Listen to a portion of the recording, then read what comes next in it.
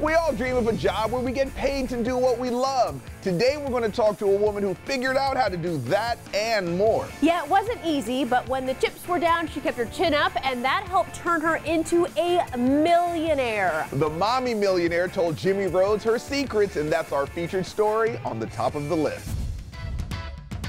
I made my first million by the time I was 26. Cayla Craft says she made that million by building her own belief in herself and becoming her own biggest asset. Cayla's titles include successful author and businesswoman, but her most important, a mom of three. Did you have fun at the beach, Channing?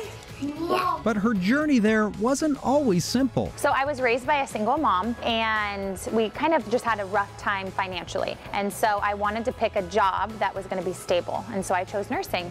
Cayla was an ER nurse at 23, but once her first kid came, she wanted a job that allowed her to stay at home. That desire led to the founding of Mommy Millionaire, an empowerment community for women in business, and her first million dollars. So when you dove in, you dove in head first. That's how I do everything. If you can learn to lead yourself, you can lead many. So you're treating yourself like your own employee. So, so the millionaire's talking to the mommy and saying, here's what you got to do. Exactly. And I always ask myself, would you hire you?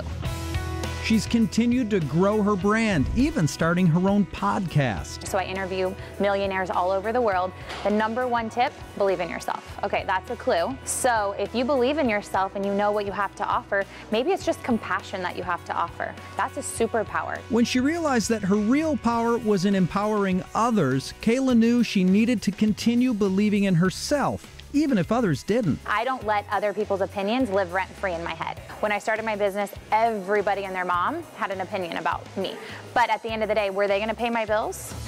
Cayla says that confidence comes from doing what you say you'll do. People think that they're going to get confident by saying an affirmation in the mirror.